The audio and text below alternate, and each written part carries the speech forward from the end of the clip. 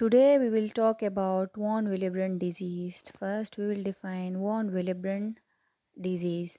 Von Willebrand disease is most common inherited bleeding disorder characterized by an deficiency or dysfunction of a protein called von Willebrand factor which impair the blood's ability to clot properly.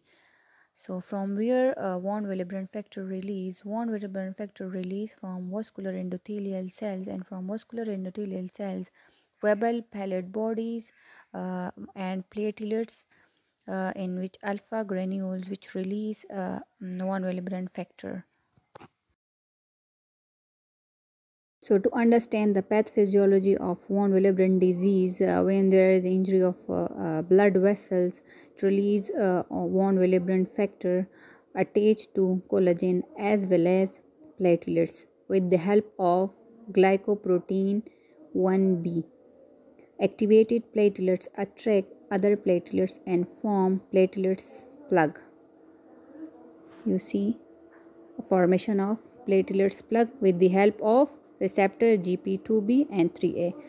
If you don't have if if there is a deficiency of von Willebrand factor, uh, so these von Willebrand factor uh, not form platelets plug lead to increased bleeding time.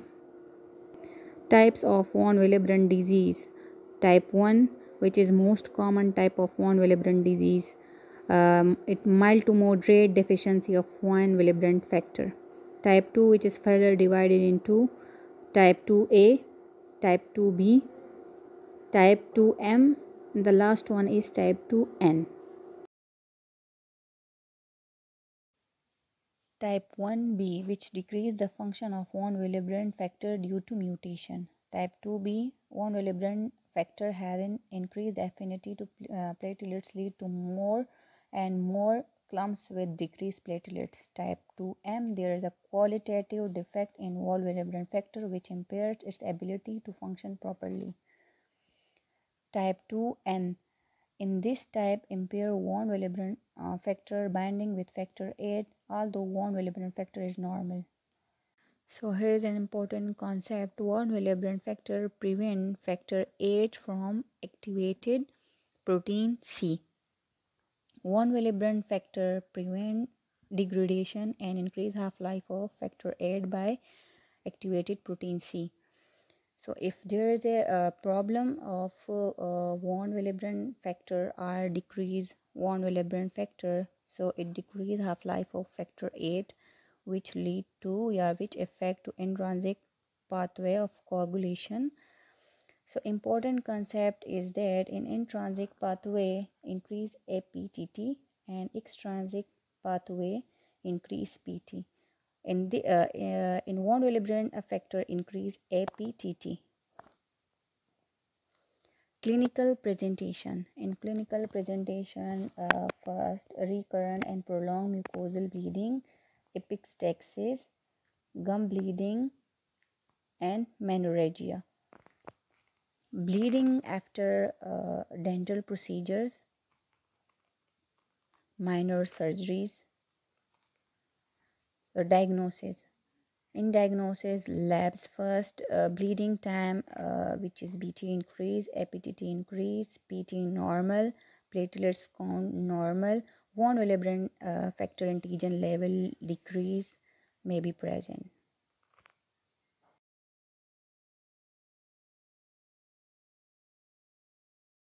Now we will discuss about ristocetin. Ristocetin is an uh, antibiotic previously used to treat streptococcal infection. It not it, it is not longer used clinically because it causes thrombocytopenia and platelets agglutination. Ristocetin cofactor assay. Here is an uh, um, animation presentation of ristocetin cofactor assay. Ristocetin bind von Willebrand factor with glycoprotein 1b uh, initiate the initial agglutination phase of uh, um, aggregation of live platelets so if uh, there is a problem of von Willebrand factor or uh, glycoprotein 1b so it may uh, um, indicate abnormal ristocetin assay or RIPA so if there is a problem of von Willebrand factor, so it may cause to von Willebrand disease or problem occur in uh, glycoprotein 1b. So it called to Bernard-Soulier syndrome. So in uh, type 2b help to diagnose the, that variant of von Willebrand disease as we studied earlier in this tab it increase affinity of von Willebrand to bind with glycoprotein uh, 1b. So we add ristocetin increase for agglutination. So treatment for mild to moderate disease use desmopressin. Uh, um, mechanism of action of uh, desmopressin. So it act on the vessel endothelial and release von Willebrand factor which store in endothelium and also in platelets uh, which release von Willebrand factor from platelets. Right?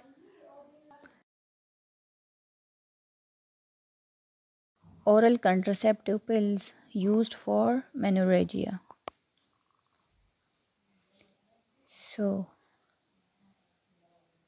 use factor 8 replacement or von Willebrand factor concentrate for severe disease so avoid these drugs, aspirin and non-steroidal anti-inflammatory drugs.